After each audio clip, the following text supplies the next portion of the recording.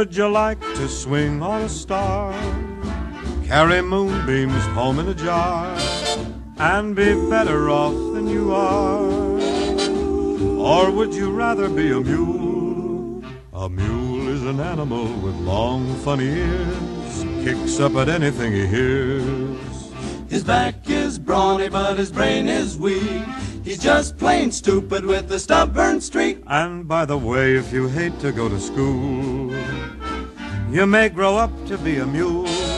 Or would you like to swing on a star? Carry moonbeams home in a jar and be better off than you are. Or would you rather be a pig?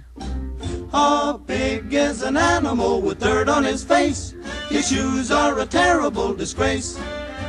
He has no manners when he eats his food. He's fat and lazy and extremely rude. But if you don't care a feather or a fig, you may grow up to be a pig. Or would you like to swing on a star? Carry moonbeams home in a jar and be better off than you are. Or would you rather be a fish? A fish won't do anything but swim in a brook. He can't write his name or read a book. To fool the people is his only thought. And though he's slippery, he still gets caught. But then, if that sort of life is what you wish, you may grow up to be a fish.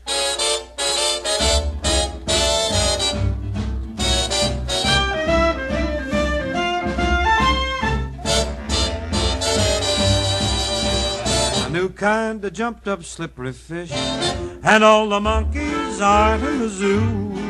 Every day you meet quite a few. So you see, it's all up to you. You can be better than you are. You could be swinging on a star.